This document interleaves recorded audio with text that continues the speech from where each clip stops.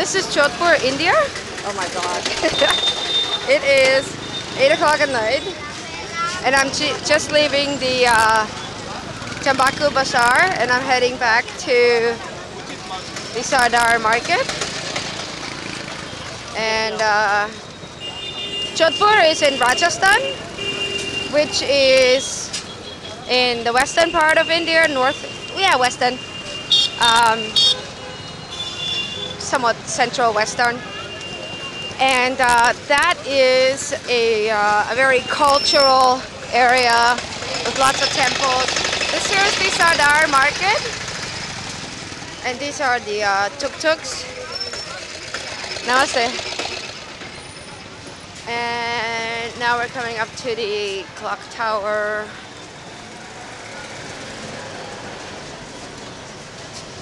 Whoa. And then, uh, let's see, I don't think it is illuminated, no.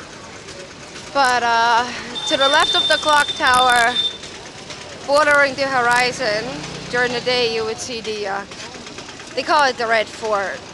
It actually has a different name, but everybody calls it the Red Fort because of its color from the sandstone. Okay, this is it. I have to go find a place that sells beer now because you cannot buy beer or alcohol anywhere other than an actual liquor store. So you can't get it in the stores at all.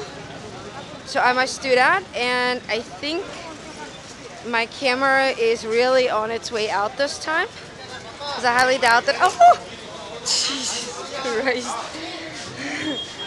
um, yeah, I think I have to buy a new camera. Anyways. Hello. Hello. Right.